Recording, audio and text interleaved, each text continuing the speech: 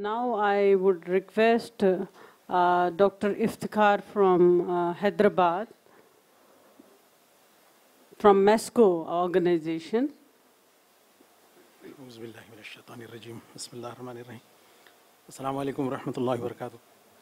First of all, I want to thank Dr. Shabistan Ghaffar for inviting us and giving me this opportunity to stand before you.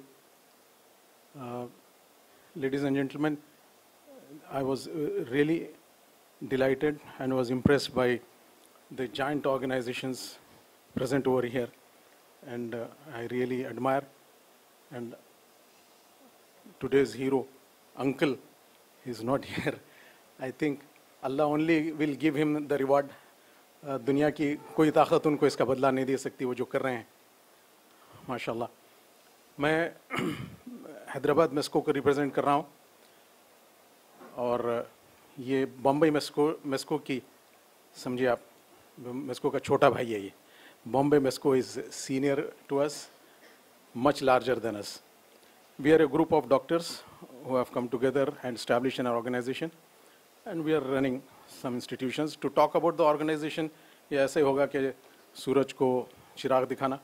इसलिए मैं एक important subject पर आता हूँ। और उससे पहले मैं यहाँ पर बात हो रही है कि एम्पावरमेंट ऑफ़ गर्ल्स की बात हो रही है।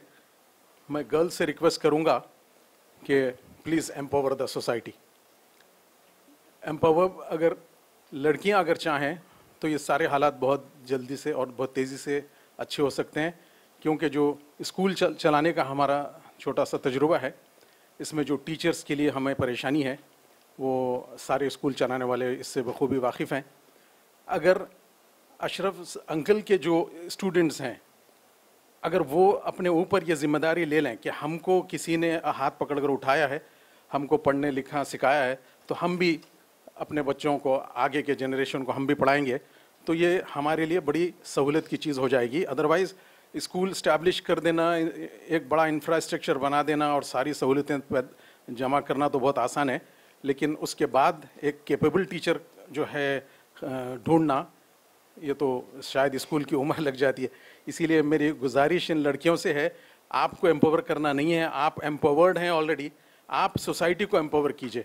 आप आप जो है सोसाइटी की मदद कीजिए और जहाँ तक हो सके मैं अपने बेटियों से ये कहूँगा कि कोई और जॉब प्रिफर करने से बेहतर है। आप टीचिंग जॉब्स प्रिफर कीजिए, क्योंकि that is where we the society requires you the whole nation requires you the whole community requires you और आपके बगैर वो जगह कितनी खाली है और वो जगह और कोई पूरी कर नहीं सकता।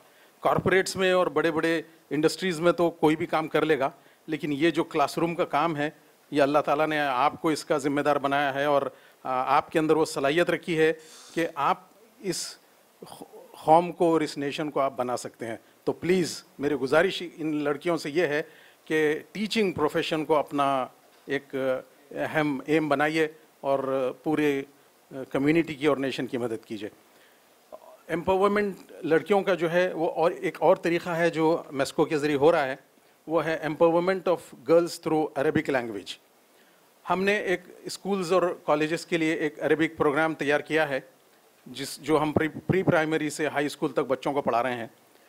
जिसके ज़रिए बच्चे सिर्फ़ अरबी लैंग्वेज ही नहीं सीख रहे हैं, बल्कि वो कुरान भी पढ़ना और उसको, उसकी लैंग्वेज समझ रहे हैं। अनफॉर्चुनेटली लैंग्वेज ऑफ़ कुरान के टीचर्स हमको सारे मुल्क में बहुत ही कम है, बहुत ही कम है। किसी और सब्जेक्ट के टीचर्स इतने शॉर्टेज में नहीं होंगे, जितना लैंग्वेज ऑफ़ कुरान सब्जेक्ट के टीचर्स की शॉर्टेज है। तो मेस्को ने एक ज़िम्मेदारी समझी कि वी ट्रेन द टीचर्स हमारे पास दो स्ट्रीम ऑफ़ टीचर्स हैं। एक तो मदरसा बैकग्राउंड के टीचर्स होते हैं, जिनको हम खुद उनके अपने सब्जेक्ट्स में थोड़ा रिफ़्रेश करते हैं, फिर अंग्रेज़ी सिखाते हैं कंप्यूटर्स टीचिंग मेथड्स ये सारे सब्जेक्ट सिखाते हैं। और रेगुलर स्ट्रीम के जो जो कॉलेज गर्ल्स होते हैं, उनको हम सिक्स महीने सिक्स मंथ्स का प्रोग्राम देते हैं। सिक्स मंथ्स में ऐसे लड़कियाँ जो अल्फ़ाबेट भी नहीं जानती अरबिक वहाँ से हम शुरू करते हैं। तो छः महीने में वो बहुत ही अच्छी, यानी तजवीज़, जो प्रोनंसिएशन जो अरबी में बहुत इंपॉर्टेंट होता है, क्योंकि आपका प्रोनंसिएशन गलत होने से अरबी की एक ऐसी पिक्यूलियरिटी है, ख़ासतौर पर कुरान की, कि इसके माने बदल जाते हैं। ये ये खसूसियत किसी और ज़बान में इतनी ज़्यादा नहीं है। शायद तमिल में है या और कोई पुरानी लैंग्वेजेस में है, लेकिन अरबी में इसकी बड़ी खसूसियत है कि अगर आप गलत प्रोनाउंस करेंगे तो इसके माने बदल जाते हैं। तो इसीलिए प्रोनाउंसिएशन की प्रैक्टिस बहुत ज़रूरी है। हम वो तजवीद सिखाकर उनको लैंग्वेज ऑफ़ कुरान सिखाते हैं plus English language computers teaching methods ये सारी चीज़ें हैं। और छः महीने में इनको इस काबिल बनाते हैं कि ये लोग अपने मकाम पर जाएँ और स्कूल्स में इस सब्जेक्ट को पढ़ाएँ और और सिक्स मंथ्स के कोर्सेज अपने इलाके में दूसरे लड़कियों के लिए भी कर सकें। ये मेस्कूक में हमारे पास बॉयज़ एंड गर्ल्स हॉस्टल्स हैं। छः महीने का प्रोग्राम बिल्कुल फ्री है और, आप सिर्फ़ हैदराबाद पहुँचना आपकी ज़िम्मेदारी है, उसके बाद मेस्को विल टेक केयर कोई लड़कियों के लिए परेशान की ज़रूरत नहीं है। अभी हम पाँच बैच जिसके कंप्लीट कर चुके हैं और लड़कियाँ सारी हिंदुस्तान से आते हैं और छः महीने के बाद वो काफ़ी बहुत कुछ हासिल कर कर जाते हैं।